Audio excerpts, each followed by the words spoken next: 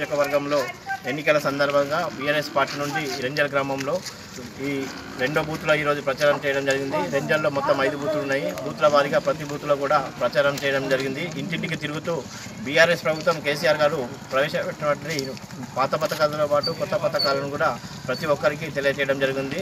దీనిలో భాగంగా ప్రతి రైతుకు కూడా ఇరవై నాలుగు గంటలు నాణ్యమైన కరెంటు అలాగే రైతు బంధు పదివేల నుంచి పదహారు వేలకు పెంచడము అలాగే రైతు బీమా ఐదు లక్షలు. అలాగే ప్రతి ఇంటికి కూడా ఇంతకుముందు ఐదు లక్షలు ఆరోగ్యశ్రీ బీమా ఉంటుండే. దానికి పదిహేను లక్షలు చేయడం జరిగింది.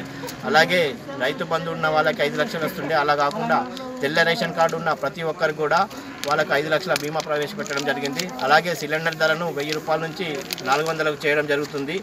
అలాగే ప్రతి ఇంటికి కూడా ఇంతకుముందు దొడ్డు బియ్యం వస్తుండే. ఎలక్షన్ తర్వాత ప్రతి ఇంటికి కూడా సన్న బియ్యం ఇవ్వడానికి దీంట్లో ప్రవేశపెట్టినారు.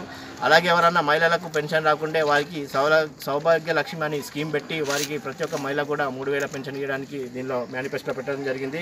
అలాగే గురుకుల పాఠశాలలు ఇంతకుముందు మన జిల్లాలో రెండే ఉండే ఇప్పుడు వాటిని ఇరవై మూడు చేయడం జరిగింది. దాంతోపాటు అగ్రవర్ణ పేదలకు కూడా రెసిడెంట్ స్కూళ్ళను ప్రవేశపెట్టడానికి దీనిలో పెట్టిండ్రు.